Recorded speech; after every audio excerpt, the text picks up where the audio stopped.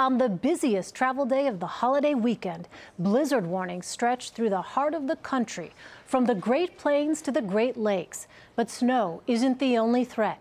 Powerful wind advisories are posted from Texas to Illinois. Whiteout conditions prompted a state of emergency in Kansas. Hundreds of flights were canceled or delayed long before snow started falling at Chicago's O'Hare International.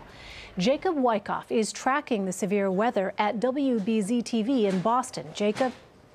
Elaine, we do have blizzard warnings stretching from metro Chicago down to the Kansas City area. Pretty impressive swath of blizzard warnings. We need a specific criteria for a blizzard to occur. Visibility less than a quarter of a mile, blowing snow, and also wind gusting over 35 miles per hour. We've seen wind gusts up to 50 to 60 miles per hour with this system. Last time Metro KC had a blizzard warning was back in 2011. So we're going to add some additional snow, 6 to 12 inches along the Interstate 70 corridor, whiteout conditions there. We have 12 plus inches out towards Moline, Illinois. This will be impactful as it lifts and moves on out of here. This is paused at 8 o'clock this evening. Then you start to see that rain move through Pittsburgh, Columbus into Cleveland, the I-95 corridor tomorrow afternoon getting in on some of that rain. And this is going to be some impressive rain totals too. You're talking another one to two inches of rain, solidifying the fact that this has been one of the rainiest autumns in New England recorded history. On the north side of this system,